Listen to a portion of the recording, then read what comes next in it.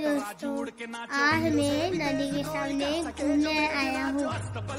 आप देखिए मेरा नाचो नाचो डांस।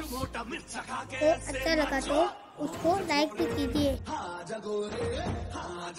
नाचो नाचो नाचो नाचो नाचो नाचो नाचो नाचो नाचो नाचो नाचो